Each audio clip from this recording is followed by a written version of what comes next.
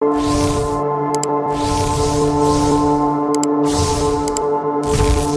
Ստեոպասաֆարյանը գրում է. Կառավարական երրորդ շենքում անվտանգության աշխատակցուհին արգելափակող շղթայի տակով անցնելուց հետո падգամավորուհուն հարցնում է. «Ուր եք գնում»։ Ասում է Անահիտ Ավանեսյանի հետ հանդիպման։ Հիմա նայեք Խարդախության ապօրինության չափը։ Չի ներկայանում, падգամավորական վկայական չի ներկայացնում։ Աշխատակցուհին չի կարողանում բարեխղճորեն կատարել իր աշխատանքային պարտականությունները։ Զանգել ու ողջել հանդիպման պայմանավորվածության փաստը։ Արգելված եղանակով անցնում է արգելապատնեշը, չի ենթարկվում ոստիկ ոստիկանի պահանջներին, վազքով փախուստի է դիմում։ Ստում է, նախարարի հետ նշանակված հանդիպում չկա։ Նախարարի ընդունարանում չի ենթարկվում գործավարի հորդորներին, դուռը բացում ու ներխուժում է։ Վերբալ հարցակում է գործում նախարարի վրա, վիրավորանք է հասցնում։ Սա անում են խմբակային, համագործակցված 3-ով։ Ու դուք ասում եք էթիկայի հանձնաժողով։ Տեսնում եք, թե քրեականորեն զգրքի քանի հոդվածով են անցնում։ Իշխանություններն էլ լավ կլինի, որպիսի լիարժեք տրեյնինգ անեն իրենց աշխատակիցներին։ Օրենք խախտող ոչ մի падգամավորի մանդատի առաջ դողալ պետք չէ։ Ապօրինությունը կանի իշխող թե ընդդիմադիր կուսակցության падգամավորը։ ՄԲԴԽ միաձայն պահյալ եւ պաշտպանյալ Զարուհին Աշխարյանին պետք է հարցնել։ Հիմա սա ներխուժում էր թե ոչ։ Ի վերջո հայոց պատմության մեջ ինքը միակ դատավորն է, որ վճռում վերլու վերլուծեց ներխուժում բառը։ Այսպես էլ անորոշ վիճակ։ Սրանք ուղնուծուծով շոու են, գրում է Ավակ Պապոյանը։ Ասենք կարելի էր, չէ, երեք падգամավորով ցիվիլ ձևով ու մանդատին համապատասխան նախորոք հանդիպում խնդրել նախարարից։ Մարտավարի մտնել ներս, այս անգամ խուժանքի պես չսողոսկել արգելաշխթայի տակով, ոչ էլ միջանցքներով վազել։ Էլի նույն սումկեքը դոշերին գցել։ Ինչևէ, Նույն Զաբուն օպերատորը մտան նախարարի ընդունարան, նույն լկտի բառապաշարը, նույն ժարգոնը, նույն նկարները շպրտում են նախարարի կողմը։ Գետին ընկնելուց էլ հո իրենց պալոշ չէր, կռանային վերցնեին։ Կռանալասի միտս եկավ։ Զախվատ Աննա, պապան ոնց է, պապան։ Ի վերջո հայրենասիրությունը իրականություն են դարձնում, նկարվում, գնում են պապայից գումարը ստանում, բայց չէ։ Սրանք այդ կատեգորիան չեն։ Այսպիսի ցինիկ նոմեր որ չանեին, բա ով կհպարտանար իրենցով։ Ստիպում եք հազարերորդ անգամ կրկնվել, պրիմիտիվ եք ու ահավոր էժան։ Էժան ասի միտս ընկավ։ Երևան կարտոլի գները ինչ եղան։ Ռուսաստանի Դաշնության արտաքին գործերի նախարար Սերգեյ Լավրովի Հայաստան կատարած աշխատանքային այցի եւ Հայաստանի Հանրապետության արտաքին գործերի նախարարի հետ համատեղասլույսում հնչեցրած հայտարարությունների շուրջ զրուցել ենք քաղաքագետ Դեմոկրատական այլընտրանք կուսակցության քաղաքական խորհրդի նախագահ Սուրեն Սուրենյանցի հետ։ Ըստ նրա Լավրովի այցը շատ կարևոր է։ Այդ այցը երաշերտ կհամարեմ առաջինը ֆորմալ առիթն է ՀԱՊԿ ԱԳ նախարարների հանդիպումը։ Մյուսը տարածաշրջանային կոնտեքստն է։ Նրա թուրքական այցի օրակարգում հիմնականում Ուկրաին ուկրաինական եւ սիրիական խնդիրներն էին, բայց քննարկվել են նաեւ հայ-թուրքական, հայ-ադրբեջանական հարաբերությունները։ Բնականաբար այդ հարցերը քննարկվել են նաեւ Երևանում։ Տարածաշրջանում արագ զարգացումներ են տեղի ունենում եւ ՌԴ-ն որպես տարածաշրջանի առանցքային դերակատար իր քաղաքականությունը հստակեցնելու խնդիր ունի։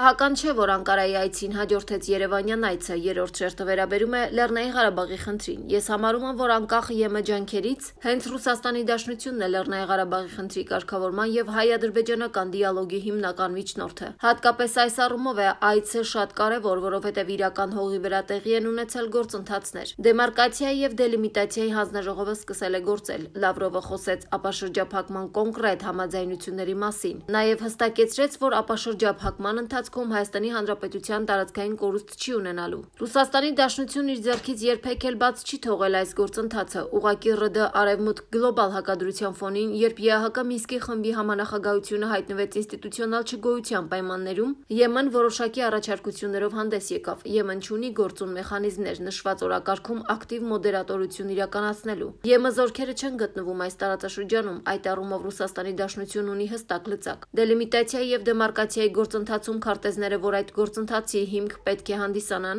դարձյալ գտնվում են ոչ թե Բրյուսելում, այլ Մոսկվայում։ ՌԴ-ն գործնականում եւ պատմականորեն շատ ավելի մեծ հնարավորություն ունի մոդերատորությունը ստանձնելու։ Սա հարցի մի կողմն է։ Մյուս կողմից իրատես եւ անկեղծ լինենք ու խոսենք կոնկրետ շահերի մասին։ Բրյուսելում հակված են հայ-ադրբեջանական հարաբերությունների փաթեթային կարգավորմանը, որը ենթադրում է, որ բոլոր հարցերը, այդ թվում ԼՂ կարգավիճակի հարցը պետք է լուծվի մեկ փաթեթում։ Սա հայկական կողմի համար այդքան էլ ընդունելի լուծում չէ, որովհետեւ այս պահին գրեթե ակնհայտ է, որ եթե քննարկվի ԼՂ կարգավիճակի հարցը, մեզ համար բարենպաստ լուծում չի կարող լինել։ Ռուսական առաջարկությունն այս հարցում շատ ավելի ընդունելի է հայկական կողմի համար, որովհետև շեշտը դրվում է փուլային կարգավորման վրա։ Առաջին փուլում անդրադարձ կատարել դելիմիտացիա դեմարկացիայի լոգիստիկ կոմունիկացիաների խնդրին, հետո անդրադառնալ ԼՂ խնդրի քաղաքական կարգավորմանը։ Ինչ հարցեր են քննարկել Փաշինյանն ու Լավրովը, Արմլուրկետեյեմը գրում է։ Նիկոլ Փաշինյանը եւ Սերգեյ Լավրովը քննարկել են հայ-ռուսական ռազմավարական գործակցությանը, տարածաշրջանային կայունության եւ խաղաղության օրակարգին, Լեռնային Ղարաբաղի հիմնախնդրի կարգավորմանը, հայ-ադրբեջանական հարաբերությունների նորմալացման գործընթացին վերաբերող հարցեր։ ԼՂ հիմնախնդրի համապարփակ կարգավորման համատեքստում Հայաստանի Հանրապետության վարչապետն ընդգծել է ԵԱՀԿ Մինսկի խմբի համանախագահության կարևոր դերակատարումը։ Զրուցակիցները մտքեր են փոխանակել նաև գիտակրթական մշակութային կապերի զարգացման շուրջ։ Սերգեյ Լավրովը բարձր է գնահատել հայկական կողմի վերաբերմունքն ու հյուրընկալությունը վերջին շրջանում Հայաստան տեղափոխված Ռուսաստանի Դաշնության քաղաքացիների նկատմամբ։ Արմավիրի համայնքապետ Դավիթ Խուդատյանն ասում է, որ ընդդիմադիրների գործողություններին պետք է ժողովուրդը գնահատական տա իր մասնակցությամբ։ Այս պահին իշխանապողության հավանականություն չեմ տեսնում։ Արմլուր կետեմի հետ զրույցում նշեց նա։ Վրաստանում բեռնատարների տարանցիկ ճանապարհներից օգտվելու վճարը կբարձրանա 75%-ով 200 լարից հասնելով 350 լարի։ Այս մասին գրում է Genius-ը։ Կառավարության համապատասխան որոշման մեջ փոփոխություններ են կատարվել։ Բեռնափոխադրողների համար նորացված սակագները ուժի մեջ կմտնեն 2022 թվականի հունիսի 20-ից։ Գործող օրենքի համաձայն Թուրքի վճարումից ազատվում են միայն այն տրանսպորտային միջոցները, որոնք բեռնափոխադրում են ծովային նավահանգստի տարածքից մինչև մոտակա մաքսային հսկողության գոտի 10 կիլոմետր շարավղով կամ հակառակ ուղությամբ։ Փոփոխությունները երաշխավորում են, որ Վրաստանի եկամուտները բեռների տարանցումից կավելանան տասնյակ միլիոնավոր դոլարներով։ Եթե լեզվի սայթ հակում չէր, ապա անսպասելի իրավիճակ է առաջանում։ Արթուր Ղազենյան, մամուլը ԵՄ գրում է։ ԱԺ Հայաստան խմբակցության պատգամավոր Արթուր Ղազինյանի գրառումը։ Ռուսաստանի Դաշնության ԱԳ նախարար Լավրովն այսօր հայտարարեց, որ Արցախի Փարուխ գյուղի հետ կապված խնդիրը կլուծվի։ Ուշադրություն դելիմիտացիայի արդյունքում, եթե լեզվի սայթակում կամ բնակավայրերի շփոթություն չէր, ապա առաջանում է շատ հետաքրքիր ու անսպասելի իրավիճակ։ Հաշվի առնելով այն փաստը, որ Փարուխ գյուղը գտնվում է Արցախում, կարելի է ենթադրել, որ Ադրբեջանի հետ պետական սահմանի դելիմիտացիա պետք է անի ոչ միայն Հայաստանը, այլև Արցախը, իսկ դա նշանակում է, որ Լավրովի պնդմամբ Արցախն Ադրբեջանի հետ պետք է ունենա դելիմիտացված սահման, ինչի արդյունքում կլուծվի ոչ միայն Փարուխից, այլ նաև Շուշիից, Հադրութից եւ այլ հայկական բնակավայրերից ադրբեջանական զինված ուժերը դուրս բերելու հարցը։